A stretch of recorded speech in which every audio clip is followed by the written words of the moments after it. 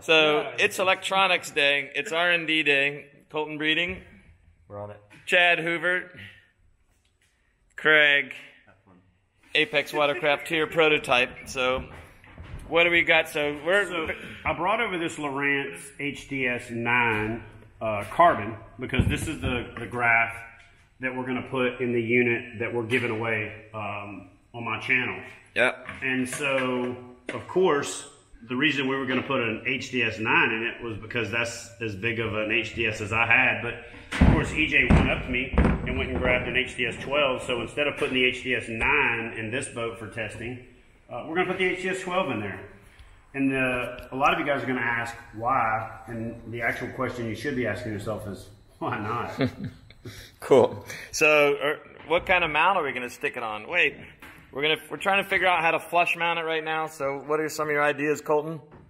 Well, pretty much what we're going to do, we're going to flush mount it inside of a hatch where you're going to be able to access anything inside it while your unit's still attached.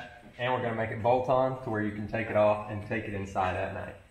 All right, sweet. So basically, you have a flush-mounted electronics in the dashboard, of which you'll be able to. You said you'll be able to remove it, and then Yep, you'll be able to remove it and you can put different hatches on if you like. like a blank off plate or something along those lines. Okay, sweet. So in here, I've got the HDS Live 12 from Lowrance, flush mounted in the dashboard. Obviously, a 9 inch would give you more space um, around it, but a 12 inch fits awesome. Uh, you'll be able to see how we flip it up, elect, uh, all your, your battery, everything inside, transducer mounted for shoot through the hull. Pretty sweet. So 12 inch live screen right here.